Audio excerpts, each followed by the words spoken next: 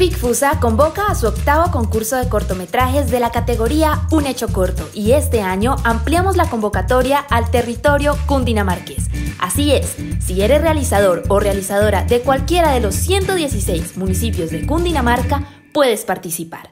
Tu cortometraje puede durar hasta 10 minutos y debe ser rodado en territorio cundinamarqués. Para más información, bases y condiciones, visita www.ficfusa.com.